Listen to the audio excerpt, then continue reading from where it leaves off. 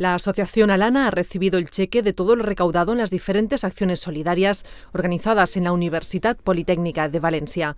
Algo más de 6.200 euros conseguidos con el dorsal solidario de la carrera San Silvestre, la iniciativa En Acció y el Mercadillo Solidario. Tot se ven, diguem, no? a un euro, dos euros, tres euros, màxim, màxim cinc euros, o algun quadre un poc més, però que són quantitats molt menudes i no, només del mercadillo eh, reunir més de 2.400 euros jo penso que està molt bé, és molta, molta venda, no?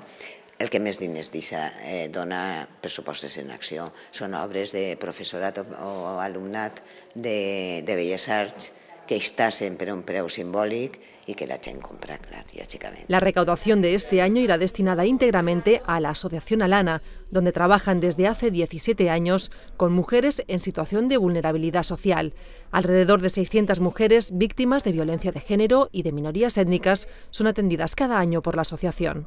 Cuando empezamos con una de ellas, eh, desplegamos todo un abanico de, proyectos de intervención, desde tema social, vivienda, o sea, desde lo que son recursos más asistenciales, hasta acompañamiento jurídico, acompañamiento emocional, terapias, grupos culturales, deportivos. La recaudación irá destinada a mantener el servicio de atención psicológica a las mujeres. La asociación eh, trabaja con muchísimo voluntariado, porque si no, no podríamos hacer la cantidad de cosas que hacemos, lógicamente, y con profesionales también.